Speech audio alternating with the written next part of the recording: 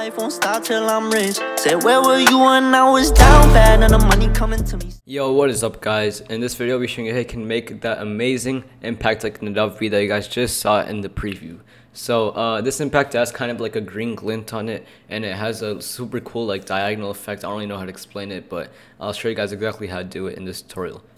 So what you guys want to do first is go into the folder uh, that I had in the description. So it should be called new impact and it should come with uh, four things. Uh, a file or an audio file, a clip, and then two DaVinci Resolve setting files. So what you're going to want to do is drag in the the video 3 MC shit on.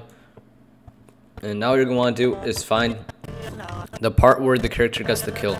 So it's right here, uh, this exact frame right here, uh, where the shield cracks on the other character. So what you're going to to do now is click on the video and click M on your keyboard, which would add a marker.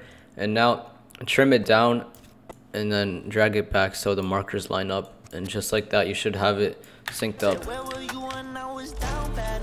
and it sounds pretty good. Uh, and now what you're gonna want to do is uh, go on the kill, and now go uh, 32 frames back. So I'm just gonna go frame by frame, and uh, I'm not gonna make you guys go through like me counting frame by frame. So I'll just fast forward to when I've counted 32 frames back. All right, guys. So this is the 30 second frame before the kill. What you're gonna want to do now is make sure that you've you're on the 30 second frame before the kill.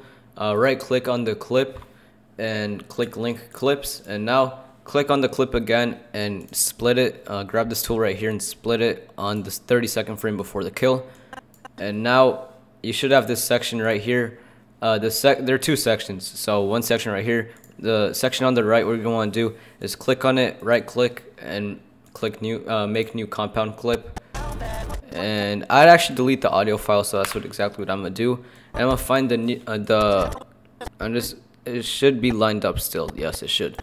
So now what you're going to want to do is uh, go into the Fusion tab and make sure you're on the compound clip and drag in the yarn velo. Is a generic uh, highlights velocity, really. So I called it yarn velocity, but it's really like, it's like most, uh, it's like most velocities, I should say that. And now what you're to want to do is find the frame where it gets the kill now. So for me, it is right here where he gets the kill. So I'm gonna add a marker there and trim the the uh, the section on the left a bit. Select both of them and drag it back. This might be a bit confusing, so you guys might want to go back. Uh, you know, watch this video a couple times back. You know, just to fully understand the concept. So now that you've done that and you've lined it back up again, what you're gonna want to do is go 50 frames in front of the marker. So uh, trick for this is click shift and right arrow key on your keyboard on the marker and then go 10 frames back. So 1, 2, 3, 4, 5, 6, 7, 8, 9, 10. And it should be like that. And now I'm just going to split it and delete it. So you should not have that much dead time after. And it should be like this. It should lag quite a bit but you know it's normal because uh, it'd be using Twixtor. I forgot to mention that you will need Twixtor and uh, Sapphire for tutorial. Uh, I do have my Discord server does have links on how you can get them, so uh, you know join my server and there should be a channel on how to get them in my server. And yeah, so now what you're gonna want to do is uh, go into the effects tab right here and drag in an adjustment clip and right here as you can see there's an adjustment clip and make sure that you put it so the adjustment clip starts uh, at the marker. So it should be like an impact right here. And now trim it to where uh, the clip ends. So you should have this little section right here that's only on the kill. And now what you're going to want to do is go into the fusion tab go into the file explorer and uh, put green glint impact. And it should take a while to load, but it should eventually load in. And I'm just gonna drag them in and connect the media into S underscore shake one and glint one to media output one. And it should all connect together. And like I said before, you will need Sapphire plugins, but uh, I do have links to that in my Discord server. So what you're gonna wanna do now is go uh, back into the edit tab and right click on the adjustment clip and click render cache color output.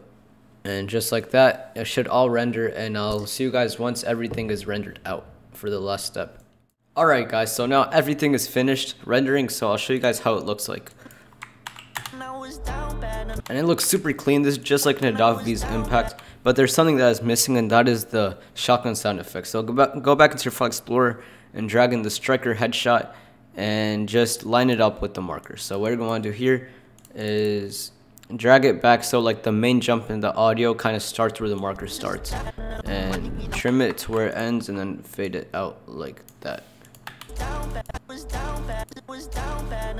And yeah, that sounds super clean and just looks super clean in general. So uh, I think this will do it for this uh, main tutorial. I think it was like five, six minutes long. So uh, if you guys did enjoy, make sure to drop a like, subscribe. I make these tutorials around like four to five times a week. So, you know, if you guys want to stay updated with my tutorials, you guys should subscribe and definitely hit the notification button. Uh, so yeah, I hope you guys enjoyed and I'll see you guys next time. Peace.